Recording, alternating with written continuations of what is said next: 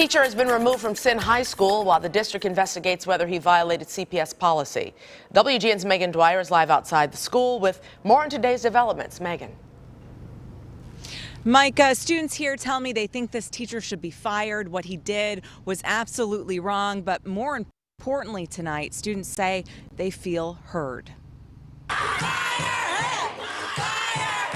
On Wednesday, students at Senn High School protested. I feel like we really got our voice heard. They sat in the hallways and blocked the school's entrance, urging school administrators to take action. I'm proud of our uh, peers and I'm proud of my classmates. In January, a teacher was accused of telling a student to go back to her country when she refused to stand for the national anthem during a school assembly. That was like unacceptable. Super racist. If students didn't do anything, no one would do anything. It would just go like forgotten about. Today, Senn High School's principal sent an email to families saying it may have appeared that our students' voices were not being heard. I want to assure you that was not the case.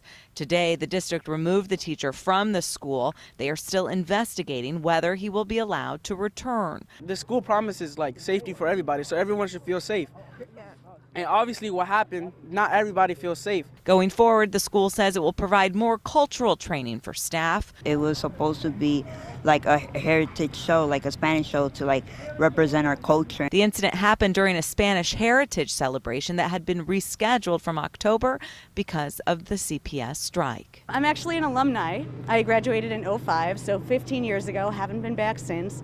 And I was just really proud of the kids and everything that they did. They deserve better and they fought for it and they got it. So I'm proud of them.